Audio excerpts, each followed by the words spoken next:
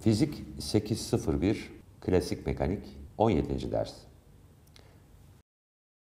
Hatırlarsanız daha önceki derslerde silahtan ateşlenen bir merminin ortalama hızını hesaplamıştık. Bunu çok hızlı zamanlama yeteneğine sahip olduğumuz için yapabilmiştik. Eskiden hızlı zamanlama yapabilmek mümkün değildi ama insanlar mermilerin hızlarını oldukça hassas yöntemlerle ölçerlerdi.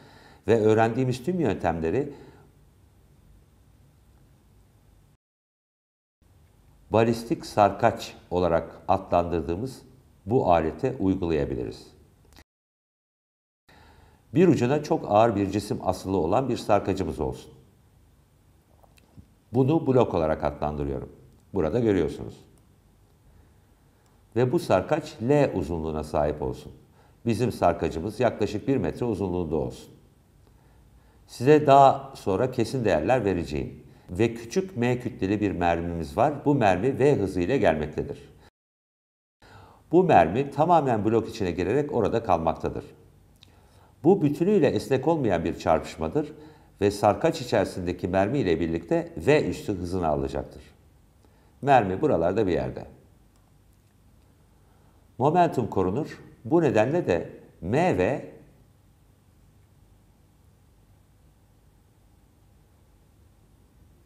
eşittir M artı M çarpı V üstü yazabiliriz. Eğer V üstünü ölçebilirseniz bu durumda merminin V hızını da ölçebilirsiniz. V üstü hızını nasıl ölçeriz? Sarkaç durma noktasına gelinceye kadar bekleriz. Mesela burada diyelim. Burada hızı sıfır olur. Buradayken hızı V üstüydi. Ve burada kinetik enerjisinin olduğunu biliyoruz. Hiç çekim potansiyel enerjisi yoktu. Bu seviyeyi U eşittir sıfır olarak isimlendirebilirim. Fakat tam burada eğer bu yükseklik farkı H ise bu durumda bütün kinetik enerji çekim potansiyel enerjisine dönüştürülmüş olur. Yani iş enerji teoremini uyguluyoruz veya mekanik enerji korunumunu uyguladığınızı da söyleyebilirsiniz.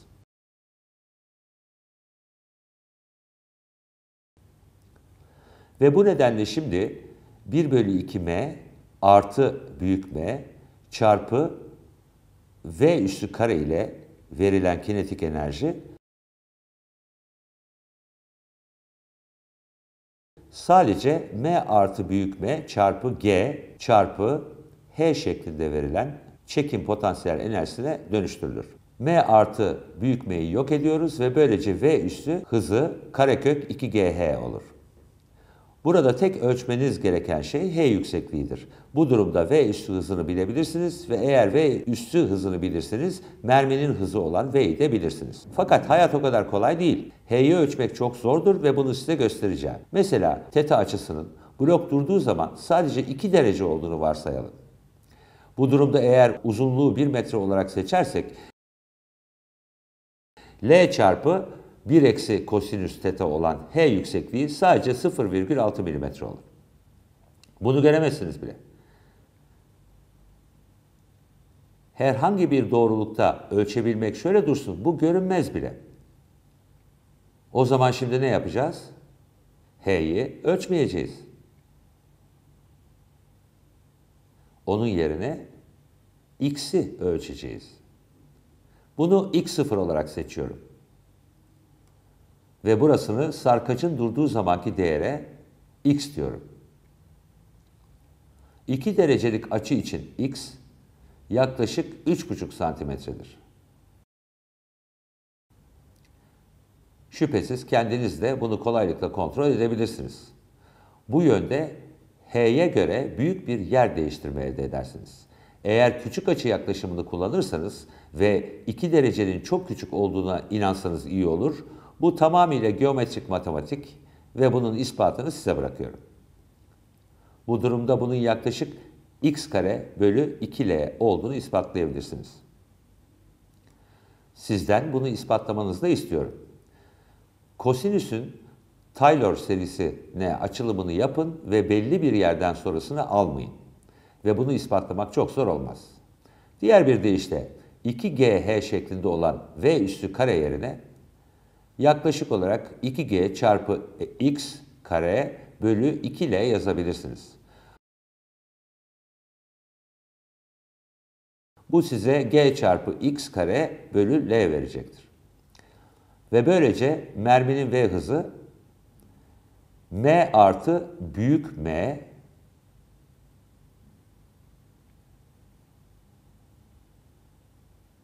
bölü M M'yi alta getiriyorum. Çarpı V üstü. Fakat V üstü şimdi bunun karekökü olur. Böylece X çarpı G bölü L'nin karekökünü elde ederim. Ve şu an gördüğümüz şey çok açık bir şekilde buradaki x'i ölçerek bu merminin hızını tam olarak belirleyebiliriz. Çünkü x'i iyi bir doğrulukla ölçebiliriz. Belki 3,5, 4 veya 5 santimetre olarak. X'te sadece 1 veya 2 milimetrelik bir belirsizlik ile bunu ölçebilirsiniz. Böyle bir merminin hızını ölçeceğiz. Bunu daha önce de yapmıştık. Çok farklı olmayan bir sayı elde edebilmek için bunu önceden yapmıştık. Sanırım 200 ila 250 metre bölü saniye gibi bir sonuç elde etmiştik. Bu deneyin verilerini size vereceğim. Merminin kütlesi 2 artı eksi 0,2 gram. Bütün sayıları MKS birimlerinde veremediğim için özür dilerim. Şüphesiz bunları MKS birimlerine dönüştürmeniz gerekiyor. Sarkacın uzunluğu 1,13 metre artı eksi 2 santimetre yaklaşık 2 santimetrelik doğruluktan tam emin değiliz. Ve bloğun kütlesi oldukça büyük. Sanırım yaklaşık 2 gramlık belirsizlikle 3200 gram yani 3,2 kilogramdır.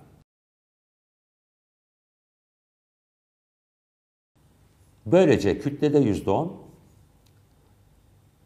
uzunlukta %2 ve bloğun kütlesinde ihmal edilebilir bir belirsizliğimiz var. Bu ihmal edilebilecek kadar küçük.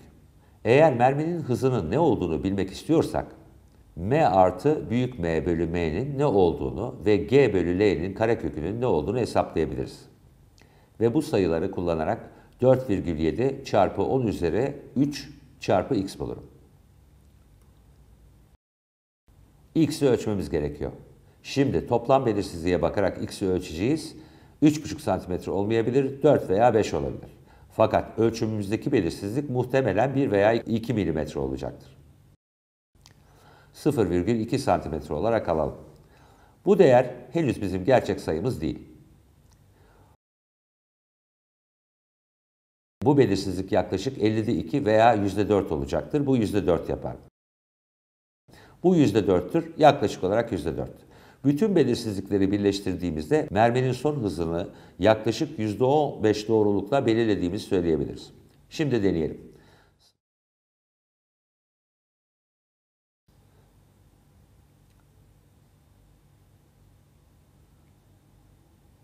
Sarkacı orada size gösterebilirim. Ve bu çok mükemmel dizayn edilmiştir. Sarkaç salınmaya başladığı zaman küçük bir cismi hareket ettirecektir.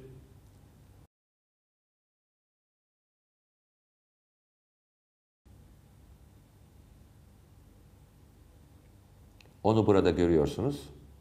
Sanırım ışığı tekrar biraz açabilirim. Sanırım bu iyi. Orada kayabilen çok küçük bir siyah işaret var.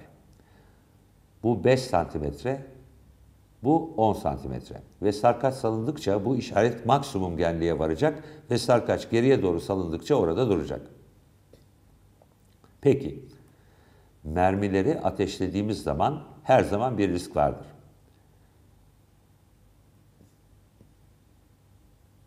Silahın mekanizması burada. Mermiler cebimde. Biri burada. Tamam. Mermiyi alıyorum ve silahı hazır duruma getiriyorum. Her şey doğru yapıldı değil mi? Evet. Oraya bakabilirseniz bu çok ağır bloğun salınımını görebilirsiniz. Mermi bu bloğun içinde kalacak. Buna hazır mısınız? 3, 2, 1.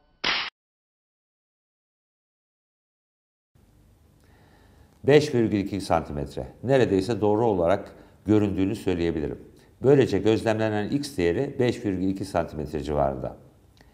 Ve biz %15'lik belirsizliği zaten biliyoruz. Şimdi hızı hesaplayacağım. Böylece 4,7 çarpı 10 üzeri 3'ü bununla çarpmamız gerekiyor. Bunu şüphesiz MKS'ye çevirmem gerekiyor. Bu MKS'de 0,052 eder ve bu durumda hız 244 metre bölü saniye olur.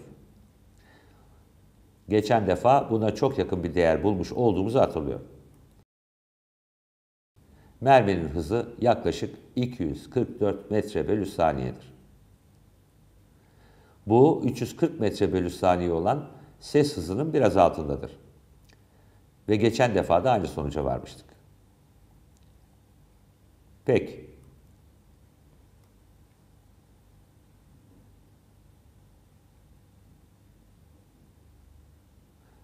Mermi bloğu çarpmadan önce kinetik enerjiye sahiptir ve bunun ne kadar olduğunu hesaplayabilirsiniz. Çünkü hızı ve kütleyi biliyorsunuz. 1 bölü 2 mv kare.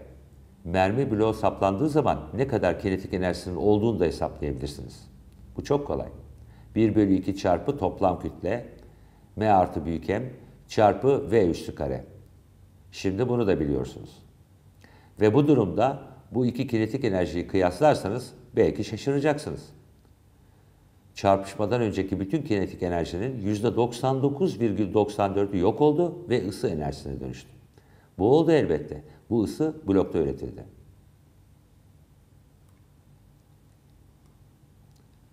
Şimdi impuls kavramına geçeceğim. Bu tam olarak yaptığımız şeyle alakasız değil. Birisini hafif bir şekilde vurursanız impuls öyle bir şeydir. Mermimiz bu bloğa bir impuls verdi. Yani ona çarptı. Impuls. Impuls vektördür ve belli bir zaman zarfında f çarpı dt'nin integrali olarak tanımlanır.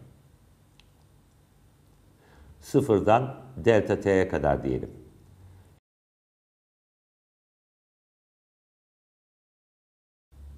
Şimdi f eşit ma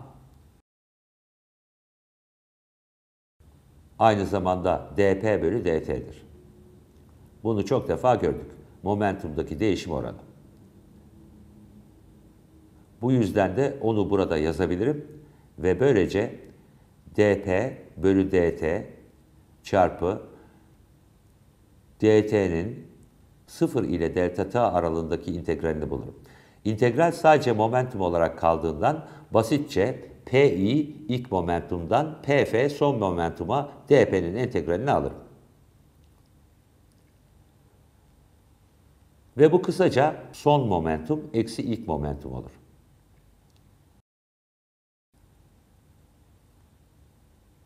Impulsun yaptığı şey momentumu değiştirmektir. Kısa bir süreliğine bir şey üzerine etki eden bir kuvvet söz konusudur. Roketlerde göreceğiniz gibi bu biraz daha uzun da olabilir. Ve bu momentumda bir değişim meydana getirir. Eğer yere düşürdüğünüz bir cisim varsa, m kütleli bir cismimiz varsa,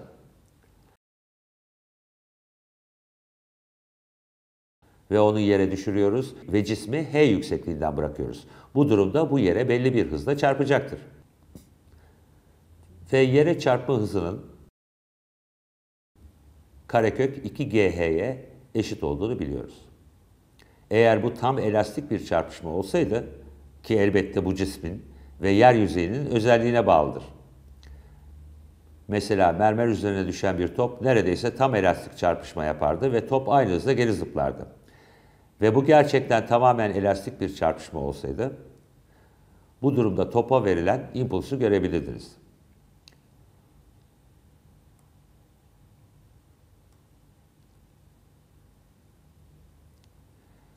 Bu impuls top yere çarparken topa verilmektedir. Yer topa impuls veriyor ve bu impuls 2 mv'ye eşittir. Top momentumunu değiştiriyor. Bu yöndeki momentum mv idi. Şimdi bu yöndeki momentum da mv'dir. Böylece değişim 2 mv olur. Böylece topa bir impuls veriliyor. Şimdi eğer çarpışma tamamen esnek olmayan bir çarpışma olsaydı, örneğin topun domates olduğunu düşünelim, domatesi yere fırlatırsam yere yapışır. Yere çarptığı zaman elbette yukarı yönlü herhangi bir hızı olmayacaktır. İmpuls sadece mv'dir. Çünkü yukarıya doğru geri gelmiyor. Bu durumda momentumdaki değişim çok küçüktür. Burada birbirine benzeyen iki topumuz var. Bunların kütleleri 0,1 kilogram, yani m eşit 0,1 kilogram ve bunları 1,5 metre yükseklikten bırakacağım. Ve bunlar yere düştüklerinde yaklaşık 5,5 metre bölü saniyelik bir hız kazanacaklar. Momentumdaki değişim 2 mv yani impuls eşit 2 mv'dir. Ve bu yaklaşık 1,1 kilogram metre bölü saniyedir.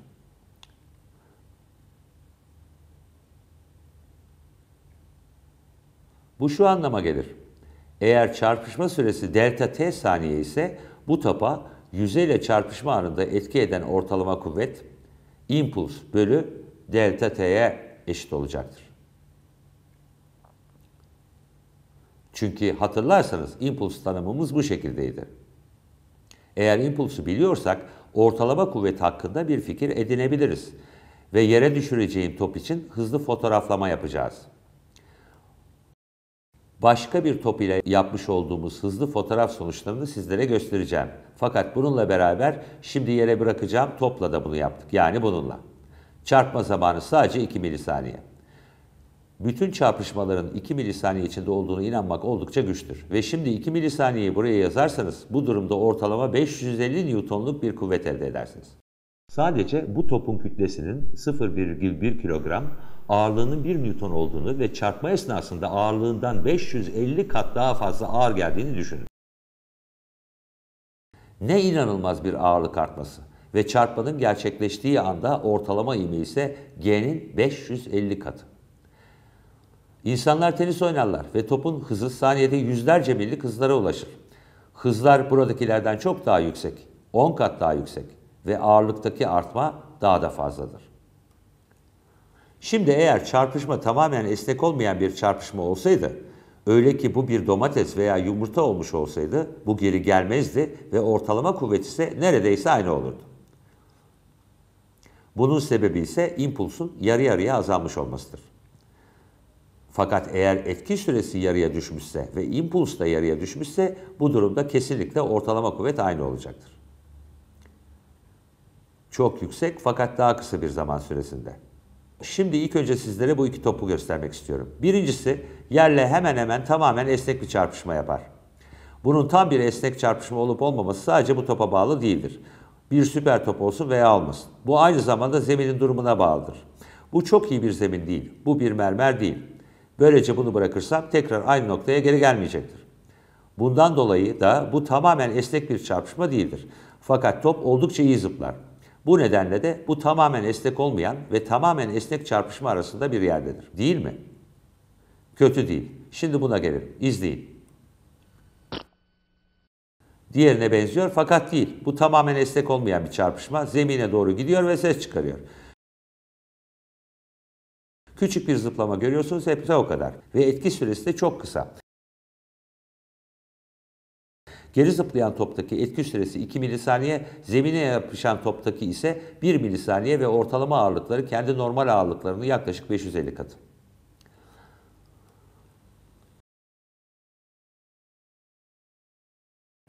Sizlere hızlı fotoğraflamayı aynı top için değil ama daha önce kullandığımız başka bir top için elde ettiğimizi göstermek istiyorum. Bunu çıkartayım. Ve bu 4 metre bölü saniye hızla aşağı giden bir top. Ve her çerçevesi 1 milisaniye olan bir cetvel göreceksiniz. Cetvel santimetreleri göstermekte. 4 milisaniyede 1 santimetre gittiğini göreceksiniz. Böylece hızı 2,5 metre bölü saniye. Zemine çarpacak ve daha sonra zeminle yaptığı temas süresini milisaniye olarak sayabileceğiz ve tekrar yukarı gelecek. Bu 2 milisaniye olmayacak. Biraz daha uzun fakat tekrar ediyorum oldukça kısa bir zaman olacak. Pekala. Yeterince iyi görünmesi için ortamı biraz karartayım. Bunların 5'ini kapatacağım ve TV'yi 2'ye ayarlayacağım ve şimdi buna başlayacağım.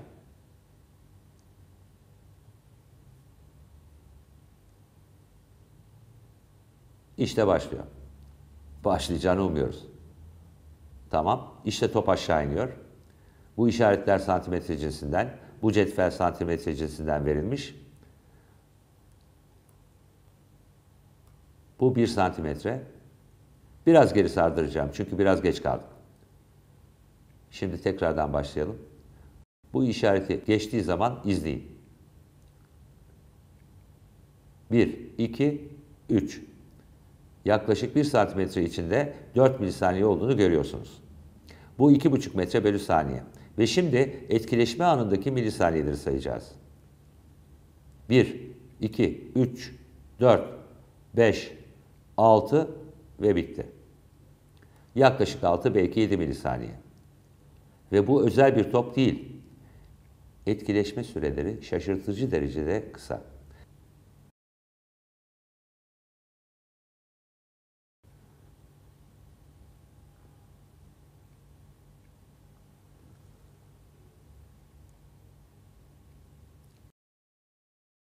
Şimdi sizlere çok özel bir şey göstereceğim.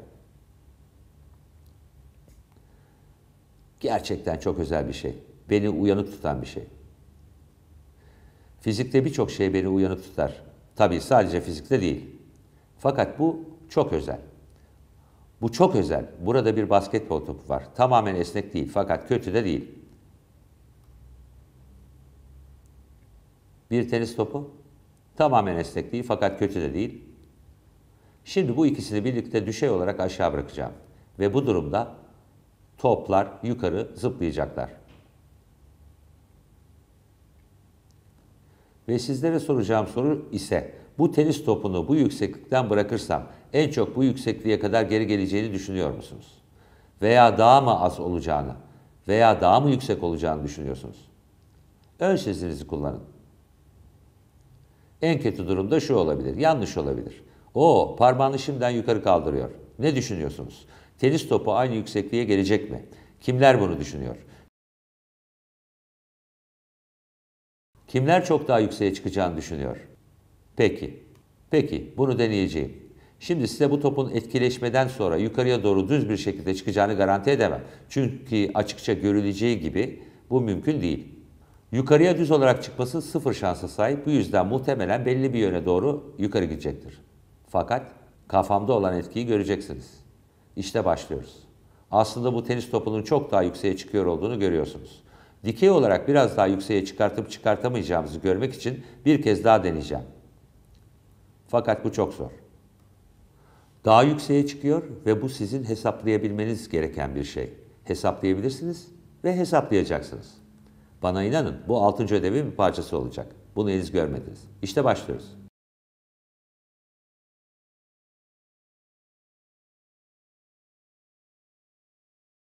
Evet, bu daha iyiydi. Güzel. Eğer bu cisim bundan daha fazla kütleye sahipse, içinizden herhangi birisi bu topun yaklaşık olarak ne kadar daha yükseğe çıkacağını biliyor. Elbette. Herhangi bir fikri olan iki kat daha yüksek. Altıncı ödevi yaptığınızda çok şaşıracaksınız. Çok daha yüksek. Peki aslında bunu burada da görebilirdiniz. İki katından biraz daha yüksek. Mükemmel, mükemmel bir deney ve bu kaldığınız yurtta yapabileceğiniz bir şey. Şimdi geri kalan zamanda roketler hakkında konuşmak istiyorum. Bir roket motordan impulsa maruz kalır ve bu roketin momentumunu değiştirir. Fakat roketin detaylarına girmeden önce cisimleri zemine atma fikrini tekrar düşünün.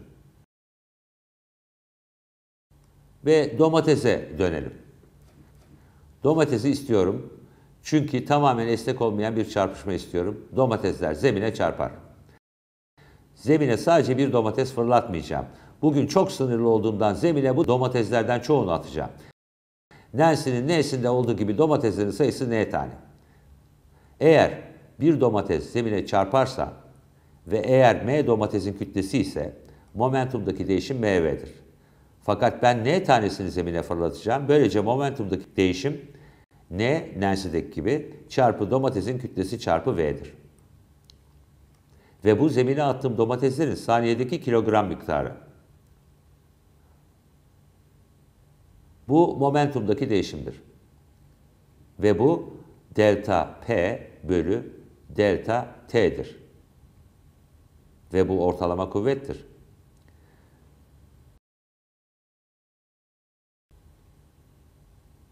Böylece zemine aşağı yönde bir kuvvet uygulanır.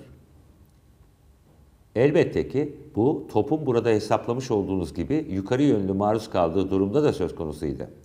Zeminde elbette aynı kuvvete aşağı yönde bir kuvvete maruz kalmıştır. Etki tepkiye eşittir. Newton'un üçüncü yasası. Zemin aşağı yönde bir kuvvete maruz kalır. Ve ben bunu daha güzel bir şekilde yazabilirim. Eğer zemine çarpan domateslerin hızı sabit ise F eşit dm bölü dt çarpı hız şeklinde yazabilirim. Ve bunu roketten çıkan egzosun rokete göre sabit hıza sahip olması durumunda roketlere uygulayacağız. Ve bu durumda zemine saniyede attığım kilogram miktarı, bu oldukça gerçekçi.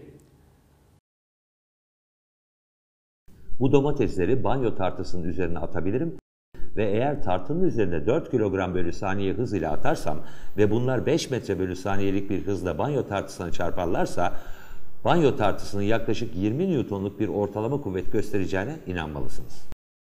4 çarpı 5. Eğer bunlar domates olmayıp onun yerine yukarıya zıplayan toplar olsaydı bu durumda momentum değişimi iki katına çıkacaktı ve banyo tartısı 40 Newton'u gösterecekti. Bu gerçek bir şey. Kaybedebileceğiniz gerçek bir kuvvet. Şimdi sizin hoşunuza gitmeyen birisi olacağım. Size çürük domates fırlatacağım. Siz buradasınız. Burada da bir domatesim var. Ve bu domatesin ilk hızı sıfır. Sizi biraz büyük çizeyim. Yoksa size çarptıramam. İşte siz busunuz.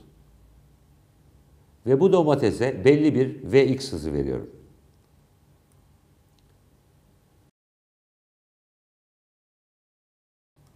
Domates size çarpıyor. Belki yüzünüze yapışabilir. Bu mümkün. Belki de aşağı doğru akabilir. Fakat her durumda x yönündeki hız yok olacak.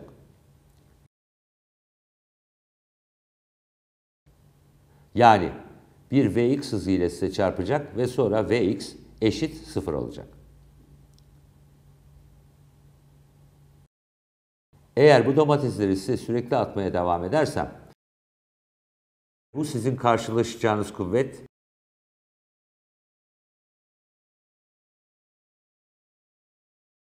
ve bu kuvvet elbette şu yöndedir. Bütün bu domatesler size çarpacak ve bunu bir kuvvet olarak hissedeceksiniz. Fakat şimdi problemdeki simetriye bakın. Burada hız Vx'ten sıfıra iniyor. Fakat domatesleri atan kişi olan ben hızı sıfırdan Vx'i arttırmalıyım. Açıkça görüleceği üzere ben de bu yönde bir kuvvet hissetmeliyim. Bunu mermiye ateşlediğiniz zaman geri tepme olarak düşünün. Bu nedenle ben de bu yönde tamamen aynı kuvvetten etkilendim. Ve bu bir roketin çalışma prensibinin ardında yatan fikirdir. Roket domatesleri dışarı fırlatıyor. Güzel, tam olarak domatesleri değil. Bu yönde sıcak gaz fırlatır ve bu nedenle roket o yönde bir kuvvete maruz kalır. Bu roketin çalışmasında yatan temel kavramdır. Ve ne kadar yüksek hızda gazı dışarı fırlatırsa o kadar büyük hız kazanır. Saniyede ne kadar daha fazla kilogram fırlatırsa dm bölü dt ne kadar büyük olursa roketin etkileneceği kuvvet o kadar büyük olur ve rokete uygulanan bu kuvvete roketin itmesi denir. Eğer uzayda bir roketimiz varsa, roket burada,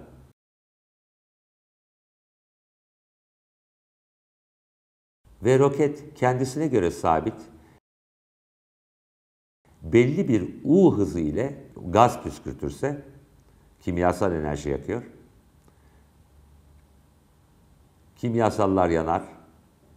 Belli bir hızla dışarı çıkar ve bu durumda roket bir kuvvetten etkilenir. Buna itme kuvveti diyoruz ve kuvvet bu denklemle veriliyor. Saniyede kaç kilogram gaz püskürtüldüğünü biliyorsanız ve hızın kaç olduğunu biliyorsanız burada hıza U diyeceğim. Bu size roketin itmesinin ne olduğunu söyleyecek. Eğer Ay'a inmek için kullanılan Satürn roketleri durumunu göz önüne alırsak.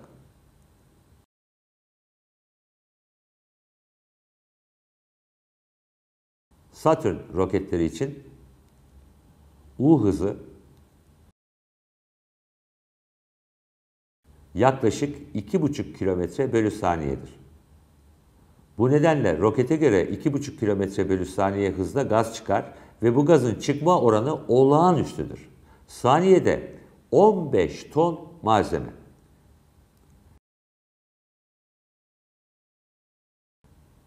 dm bölü dt yaklaşık 15 bin kilogram bölü saniye. Bunu hayal etmek oldukça zor. Ve bu yaklaşık 35 milyon Newton'luk bir itme verecektir. Elbette bu roketin ağırlığından çok daha fazladır. Aksi takdirde roket asla havalanamaz. İnanılmaz bir itme.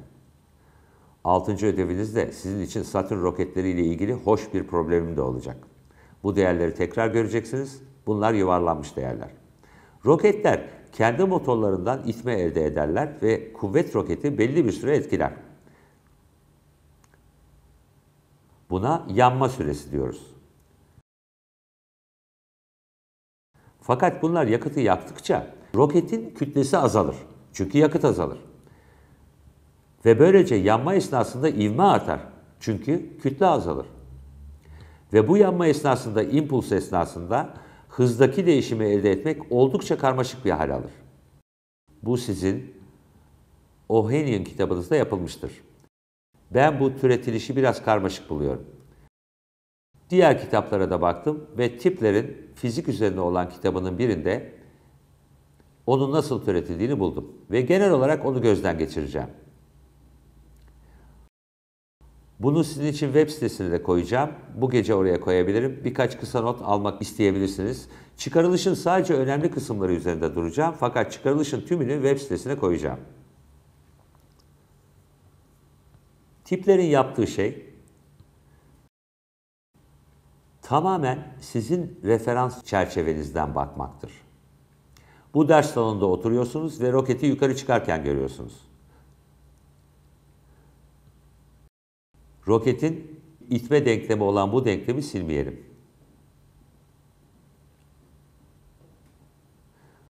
Roketin durumunun dışında rokete göre egzostan çıkan gazların hızı olan bunu U olarak seçeriz. Ve bu itme adını verdiğimiz şeydir. Şimdi T anında sizin referans çerçevenizden görülen bir roket alalım. Oturduğunuz yerden görülen. V'yi kullanacağım. Bu sizin referans çerçevenizden yukarıya doğru V hızıyla çıkmaktadır. Roketin kütlesi M ve şimdi T artı delta T zamanına bakacağız.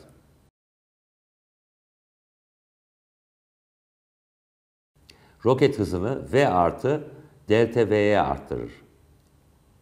Kütleme, bunu beyaz tebeşir ile yazayım.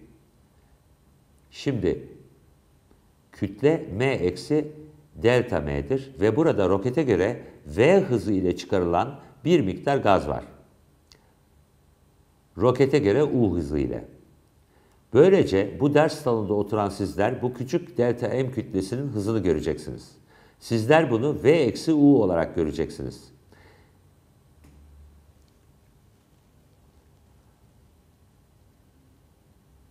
Eğer roketin hızı u'dan daha büyükse ki olabilir kendi referans çerçevenizden yukarıya doğru çıkan gazı göreceksiniz. Eğer gazın hızı roketin hızından daha büyükse kendi referans çerçevenizden onun aşağı indiğini göreceksiniz. Bu işaretlerle belirtilir. Şimdi buradaki momentum ile oradaki momentumu kıyaslayacağım ve üzerine herhangi bir dış kuvvet uygulanmadığı durumu ele alacağım. Dış uzayda bir yerde bu roket yanmaktadır. Momentum korunmalıdır. T anındaki momentum m çarpı v'dir. Bu çok basit. Bu t zamanı. Çıkan gaz dahil bütün sistemin t artı delta t anındaki momentumu eğer size momentumun koruduğunu söylersem çıkan gazı ihmal edemezsiniz. Burada korunan sistemin momentumudur. Çıkan gazın momentumu değişecektir fakat sistemin momentumu sabit kalacaktır. O halde kütle çarpı hızı elde edeceğiz. m eksi delta m çarpı v artı delta v artı delta m çarpı v eksi u. Ve bu ne kadar büyüklüktedir? Peki burada m çarpı v artı m çarpı delta v var. Burada m çarpı delta v'yi, burada m çarpı v'yi görüyorsunuz. Ve sonra u çarpı delta m'yi elde ediyorsunuz. Ve buradaki delta m çarpı v, buradaki eksi delta m çarpı v'yi yok etmektedir. Ve bu delta m çarpı delta v terimi iki çok küçük sayının çarpımı olduğundan bunu ihmal ediyoruz. Bu t artı delta t anındaki momentum ve bu da t anındaki momentumdur. Ve böylece momentumdaki değişim delta p sıfır olmalıdır. Ve bu m çarpı delta v eksi u çarpı delta m sıfır olmalıdır. Çünkü momentum korunmaktadır. m delta v eksi u delta m eşit sıfırdır. Bu denklemin türevini alabilirim ve neticede sol tarafta dp dt'yi elde ederim. dp dt sıfır olacaktır. Böylece sıfır eşit m çarpı roketin ivmesi olan dv bölü dt eksi u çarpı dm dt edilir. Ve bu roketteki itmedir. Burada gördüğünüz şey anlaması çok kolay bir şeydir. Bu m çarpı a. Bu roketin ivmesi a ve bu t anındaki roketin kütlesi. m çarpı a eşit roketin itmesi ve bu da u çarpı dm bölü dt'ye eşittir. Bazıları bunu roket denklemi olarak adlandırırlar. Bu sistem üzerinde herhangi bir dış kuvvet olmadığı zaman doğrudur.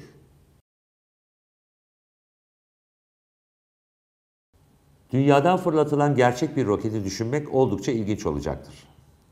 Eğer dünyadan gerçek bir roket fırlatırsak, roket bu yönde gidecektir.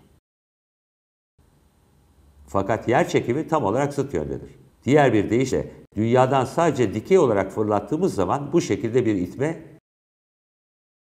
ve bu şekilde bir mg olacak. Bu durumda bu denklem düzenlenmelidir ve bu durumda m çarpı a eşit itme kuvveti eksi mg'yi elde ederiz. Dünyadan roketi sadece dikey olarak yukarı fırlattığımızda bu durum geçerlidir. Şimdi bunun üzerinde biraz çalışmanız gerekecek ve bunu sizlere bırakacağım. Bunu roket ateşlendikten sonra ilk hızına göre son hızının ne olduğunu elde etmek için birkaç integral almanız gereklidir. Ve bu kısmı size bırakacağım. Fakat web sitesine koyduğum notlarda bütün detayları ve bunun nasıl ele alındığını göreceksiniz. Ve bu durumda çok ünlü bir denklem elde edeceğiz. Roketin son hızı eksi roketin ilk hızı eşit eksi u çarpı roketin son kütlesinin logaritması bölü roketin ilk kütlesidir. Bu hiç yer çekimi yoksa geçerlidir.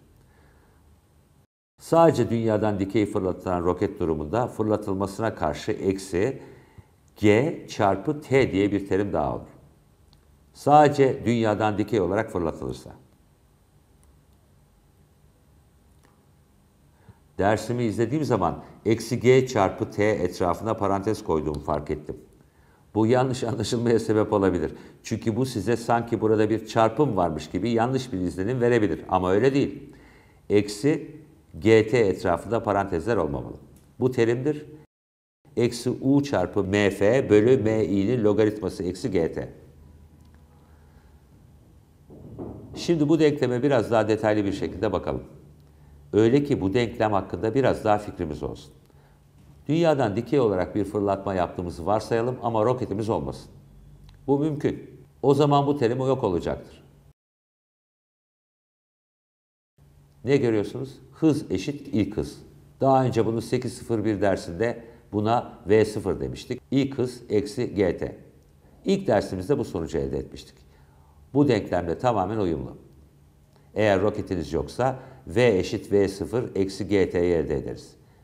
Eğer cismi dikey olarak yukarı fırlatırsanız ve yine eğer dikey olarak fırlatma imkanınız varsa. Bu güzel görünüyor. Dünyadan fırlatıyoruz ve şimdi sıfır olan bir ilk hızımız var. Roket orada duruyor ve roketi ateşliyoruz.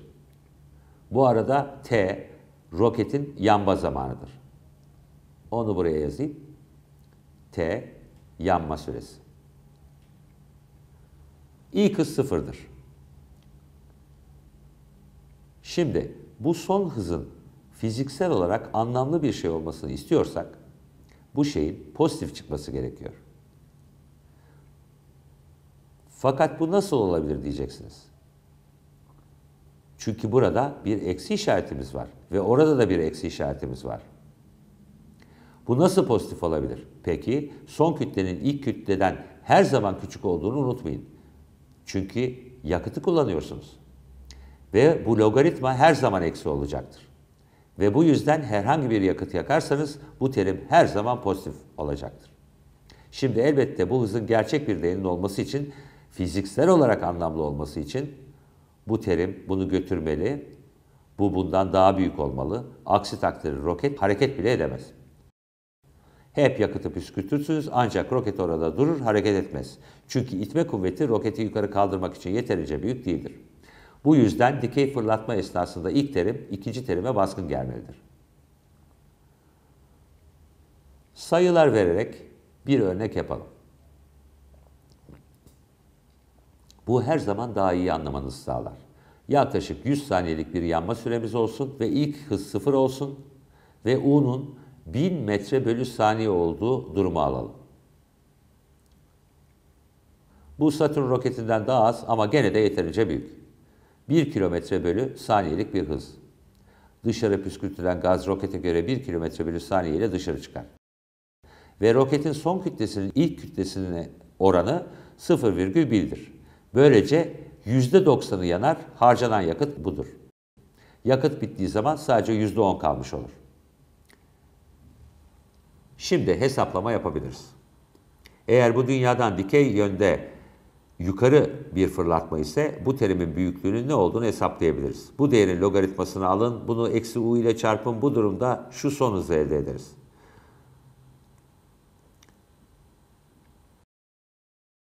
Bu birinci terim 2300.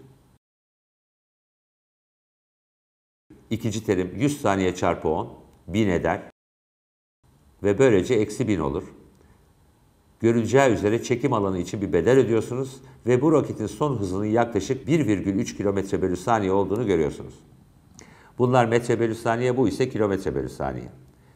Şimdi eğer yer çekimi yoksa bu durumda elbette süratteki kazanç bu fark kadar olacaktır.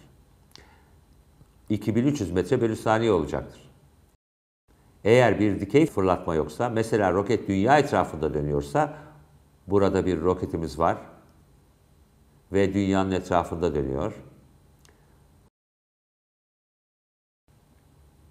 Bu durumda elbette yer çekimi olsa bile yer çekimi bir iş yapmayacaktır.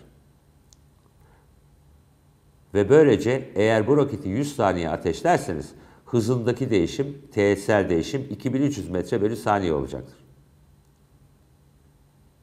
Şimdi bir yer çekimi olduğunu söyleyemezsiniz ve bu yüzden de GT terimini hesaba katamazsınız. Bu denklem için de aynı olacaktır. Eğer bu yönde giden bir cisminiz olsaydı bu eksi GT terimi orada da olmayacaktı. Bu sadece dikey hareketle ilgilidir. Belli bir süre zarfında belli miktarda yakıtı yaktığınız zaman hızda sabit bir değişim elde ettiğinizi fark etmek çok sezgisel olmamakla birlikte çok önemlidir. Bu belli miktardaki yakıt için sabittir. Kinetik enerjideki değişim sabit değildir. Size bazı değerler vereceğim. Böylece kendinizi hemen kontrol edebilirsiniz. Ve bunu anlamak oldukça zordur. Bu gerçekte birçok fizikçi tarafından yapılan bir hatadır. Aynı roketin aynı sürede eşit miktarda yakıt yakması durumunda kinetik enerjideki artışın aynı olacağını düşünürler. Bu doğru değildir. Burada verilen hızdaki değişimin aynı olduğudur. Vf eksi Vi'nin 100 metre bölü saniye olduğunu varsayalım bu verilmiştir. Bir roketim var, belli miktarda yakıtım var, bunu yakıyorum ve bu benim hızımdaki değişim. Sıfır ilk hızıyla başlıyorum. Böylece kinetik enerji artışım 1 bölü 2 m çarpı 100'ün karesi yani 10 üzeri 4'tür. Yanma sonucu bu enerjiyi elde ederim. Şimdi aynı roketi, aynı miktarda yakıtı ve aynı yanma süresini kullanıyorum. Böylece son hız eksi ilk hızı yani 100'ü elde ederim. Bu tamamen aynı. Fakat yanmadan önce bu roketin ilk hızı 1000 metre bölü saniyeydi. Şimdi kinetik enerjideki kazanç nedir? Şimdi son hız 1100'dür. Bunun tartışması bile olmaz. Çünkü roket momentumu ve hızı belli bir miktarda değiştirir. Şimdi kinetik enerjideki kazanç, kinetik enerjideki artma eşit 1 bölü 2 m çarpı 1100'ün karesi eksi 1000'in karesi şeklindedir. Bu yeni hız ve bu önceki hız. Ve bu değer 1 bölü 2 m çarpı 200 bin olur. Bu jul biriminde ve bu da jul biriminde. Bu değer 20 kat daha büyüktür. Hızdaki değişimin tamamen aynı olduğunu görmektesiniz. Roket aynı zaman içinde aynı miktarda yakıtı yaktı fakat kinetik enerjideki artma eğer roket başlangıçta daha yüksek bir hıza sahipse daha fazla olur. Bu ders salonunda kendi roketimizi yaptık. Bu çok gerçekçi bir model. Teşbihte hata almaz. Fakat oldukça güçlü ve bunu sizlere göstermek istiyorum. Çünkü bundan gurur duymaktayız. Roket olarak bir yangın söndürücüyü kullanıyoruz. Karbondioksit. Ve fantastik icat burada.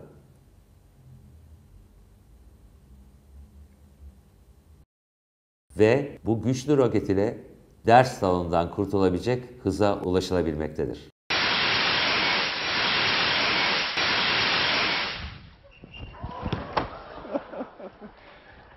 Neredeyse kurtulma hızına ulaştım fakat kaza yaptım. Gelecek derste görüşmek üzere.